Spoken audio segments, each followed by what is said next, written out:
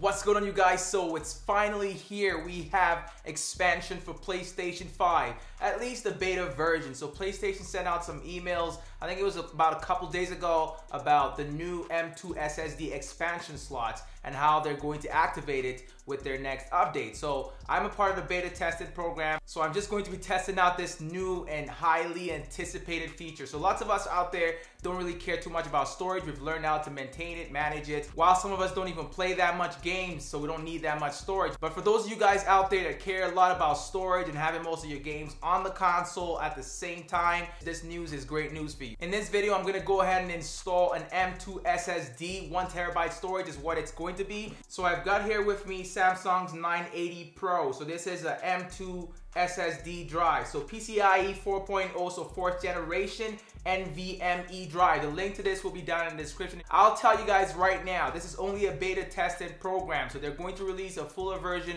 of the update that everyone is going to have access to. There's a lot more things that came with the update, but this is the most important part, installing the M2 SSD. Let's be honest, we all want this one. This is one we've been waiting for for a while. There's a few specifications that you're going to have to take note of when getting an M2 SSD. So far, at least with the ones that they've already given us. These drives are not common out there, but there's quite a few that you can pick up at the moment if you're going to be, you know, testing with the beta program. PlayStation is not giving any guarantees to those of us that's, you know, testing this out right now. That's the point of a beta test, but I'm here to test this out for you guys to see how it works. So this does not come with a heatsink. That's one of the most important things that you're going to have to take note of when getting your M2 SSD. It's the fact that you need to have one that has inbuilt heatsink or you have to install the heatsink inside. This Samsung 980 Pro does not have inbuilt heatsink. So I'm gonna go ahead and install this external heatsink. These things don't cost that much. I think this costed me about $14.99. I'm talking Canadian dollars, by the way. This Samsung 980 Pro is also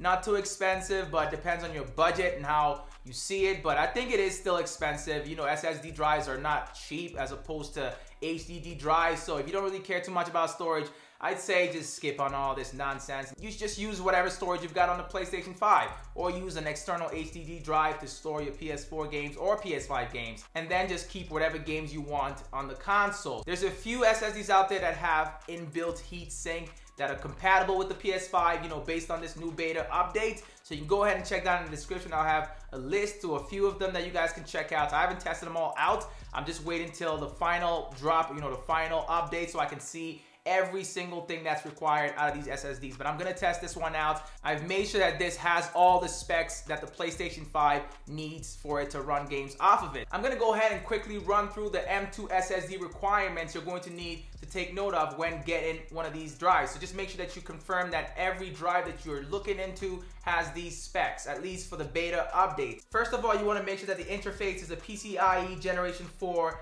M2 NVMe SSD. Next up, the capacity has to be between 250 gigabytes and 4 terabytes.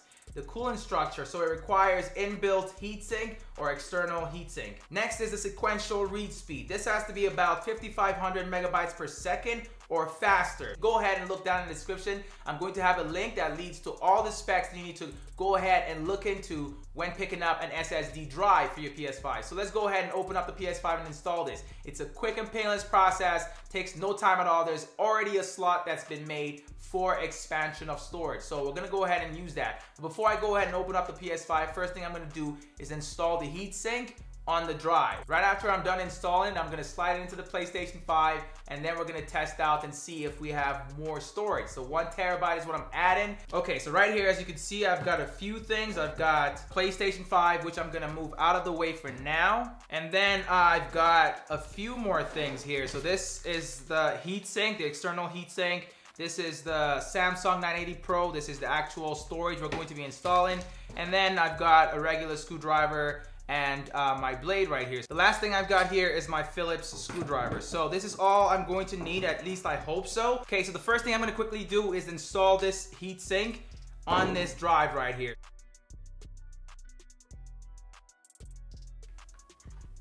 And that's the drive right there. It's really small, nothing crazy as you can see. Make sure you're careful with this little thing right here. You don't wanna damage it. So make sure while working with it, you're being careful. Okay, so installation of the heatsink on this drive is quite simple. It's nothing crazy.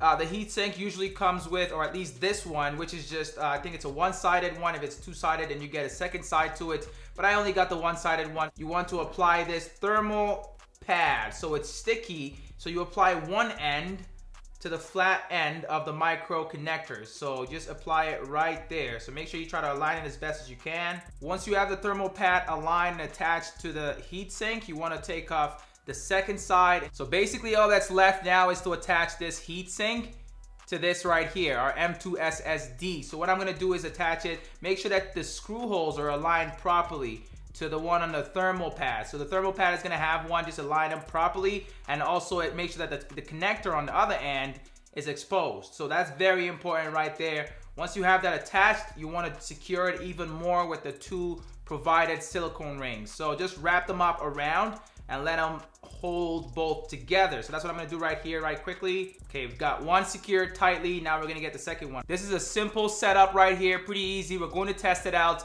and see how well this works with the PS5 console. We're gonna bust open the PS5 right now and go ahead and install this inside of it. Okay, so I've got the console right here. First thing I'm gonna do is take off the back end, as you can see right there. Shouldn't take any more any time. If you have yours mounted horizontally, I don't think you're gonna have to deal with this.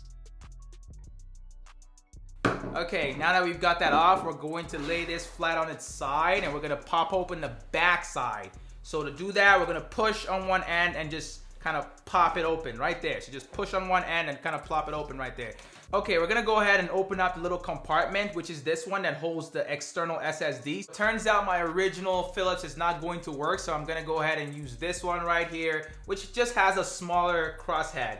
So it's still it's still basically a Phillips, just smaller. So it's gonna fit into that little screwdriver right there, or a little screw. So I'm gonna take that off, and then we're going to plop our uh, new SSD with the heatsink into it. Get that connector in there diagonally. That's how you wanna get it in, and just align it with the screw hole right there. Make sure that whatever you're getting fits properly into this little, you know, compartment. What I'm gonna do is I'm gonna take off the screw on this end. So it's labeled 110. The same screw head you used to take off the original compartment screw is what you're going to use to take this one off as well. So it comes with a washer as well and we're just going to use that to screw on our new SSD in there. So we're going to move it from the 110 to I think it's an 80 that it's numbered. That should help keep the new SSD inside the PlayStation 5, so the little, the little compartment, so you want it to be sturdy. Once you have that in there, we should be pretty much good there. And now we're going to cover up that hole, that little compartment and screw it back on. I actually think it's a pretty quick and easy process. So if you have multiple drives or multiple SSDs, it's gonna be quite easy to switch between them. But I'll just say go for a four terabytes if you're somebody that, you know, enjoys having a lot of space on their console. I think they cost about a $1,000, which honestly is pricey. But if you really care about it, and you can go ahead and grab it. There's going to be links down in the description to every single thing I'm talking about, by the way. Quite easy, just plop it back on the same way you took it back off. Right there. Okay, we're gonna get the back end on as well. I'm gonna screw that on quite quickly here.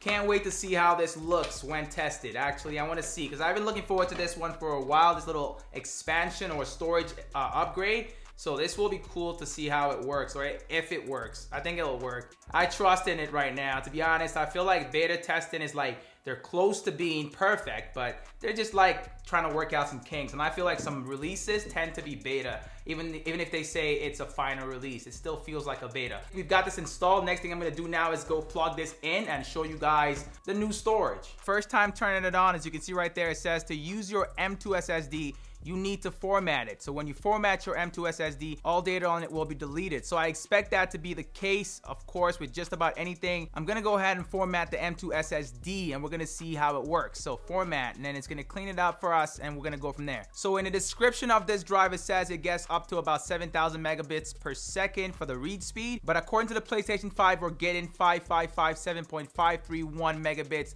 per second. And according to what they wanted, what the specs were that were needed for M2 SSDs, this crosses that mark. We need a 5500 if you don't remember. Here's a quick warning right there. If you experience problems while playing a game installed in M2 SSD storage, try installing it in console storage. So like they said earlier, this is a beta test, so they're not expecting everything to work out perfectly. So I'm gonna go ahead and hit okay and we're gonna go from there.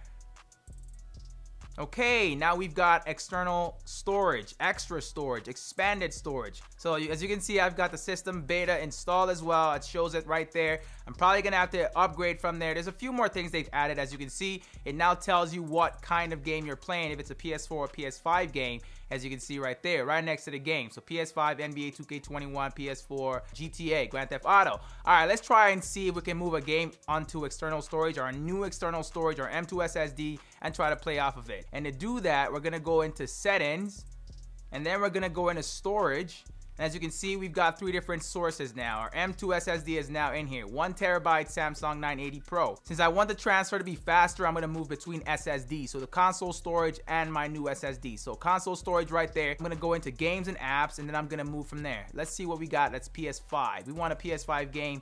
Absolutely. I'm gonna move Spider-Man Miles Morales. is one of the most, you know, easy to test out games out there. Let's move that. So select items to move and we're gonna move it to M2 SSD storage. See, right there. So the item you selected will be moved to M2 SSD storage. So let's do that. First thing I've noticed is the fact that it's faster moving between the SSD on board the PS5 and the external SSD we've just added, as opposed to moving to USB external storage, at least when moving between HDD drive and the console storage SSD. Let's see what we've got inside the M2 SSD, and then we're gonna go try to play the game off of the M2 SSD. So games and apps, we've got Spider-Man Miles Morales. Okay, so there's a game right there as you can see. So this is on the M2 external storage as I just showed you guys. And it's not telling me to move it before I play it. So I can play it automatically off of the drive. So let's see how it looks. So far from what I can see, it's working smoothly. We need some more time. We need to test it out longer and see how this, you know, beta program is going to work. We're now at the homepage for the game, PS5 game. I've already played this game multiple times, so I'm just gonna open up one of my save files and try to play at 30 frames and 60 frames. Okay, so this right now I think is at 60 frames. Let's go ahead and see what our settings look like. Uh, we're gonna go into visual performance RT, so 60 frames per second as you guys can see. And then I'm gonna hit circle right there and try to play. Let's see how this works. Well, would you look at that? We've got external storage, y'all. Look at this, man. I got extra one terabyte installed right now and I'm playing off of it. Something we've been waiting for for quite a while. Not everybody really cares about this. Man, I ain't played this game in a long time. I can't even play it like I used to anymore. I think I always play it. My difficulty is quite hard as well, so I don't play easy. You know, these guys don't play no games around here. As you can see, 60 frames is pretty good, pretty smooth, no issues at all. I'm gonna go ahead and see what it looks like at 30 frames. So just fidelity mode. The complaints about storage is now a thing of the past, at least based on this so far. I'm not saying that it's 100%. I haven't noticed any issues yet, but who knows what might come up. It's a, it's a beta test after all. But they're going to release the real one or the full version of this update I'm expecting within a week to three weeks, somewhere within that time frame. Hopefully nothing really changes regarding the specs required for the M2 slots because this is working perfectly right now. I see no issues and I would really like to keep using this. I've got one more thing to show you guys. So I'm to show you guys how to install games directly from the store, the PlayStation store, onto your new M2 SSD. So if you don't want to go in directly to the onboard storage of the PS5, what you want to do is go to your settings right here, storage, and then installation location. So right here is where you want to get to. So set the default installation location for apps and games. So PS5 games and apps, I can go ahead and change this to M2 SSD storage right there. And the same thing I can do for PS4. So you can choose where you want stuff to go. And I'm just gonna go ahead and choose M2 SSD storage for now. If everything remains the same after PlayStation drops the full update, then go ahead and pick up one of these drives. So you can pick up the drive separate without the built-in heatsink, or you can go ahead and pick one up with a built-in heatsink. So if you pick up one without, then go ahead and pick up a separate heatsink and install it like I did. Quick and painless. So easy. Just make sure you get a low profile one that's going to fit perfectly with the drive into the slot for the SSD storage. It's about 1.7 now this console has because I've added one terabyte to the original, I think about 650 or whatever it was. And I'm just gonna put PS4 games on external storage, the HDD, or I can just put it all on the console now and not have to use external storage. It's up to me how I want to use this now. So you guys go crazy with this. There's a few more things they've added, but I'm not going to talk about this update or this beta update until after they release the full version. Because what if they change some things and, uh, you know, I don't really want to talk about things that might get changed. But I think everything is going to remain the same with the SSD. If anything, they, they might add some more options, you know, for you to be able to use. If you guys found this video enjoyable or helpful, make sure to spam that like button, run it up on this video. Subscribe if you're new to the channel. I really appreciate it. It's your boy Midas, and I'm out of here.